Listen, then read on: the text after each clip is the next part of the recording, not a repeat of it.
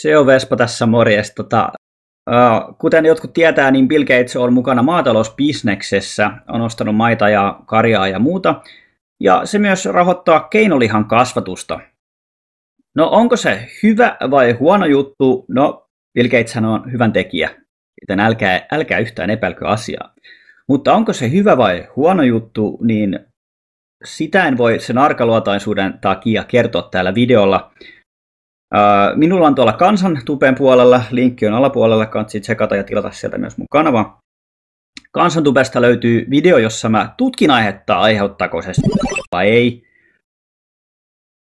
Anteeksi, siis eh, onko se niin, että sehän, sehän on todella turvallista, keinoliha on hyvä juttu siis.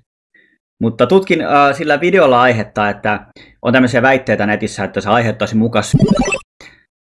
Ja mihin ne perustuu ja muuta, niin mä tutkin niitä väitteitä sillä videolla ja sitten käyn sitä aihetta läpi. Että miten keinolihaa tuotetaan ja sitten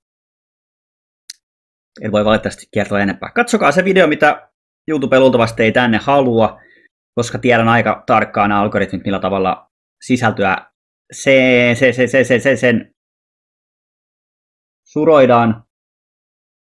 Joten tota, käykää tsiikaa. Morjes.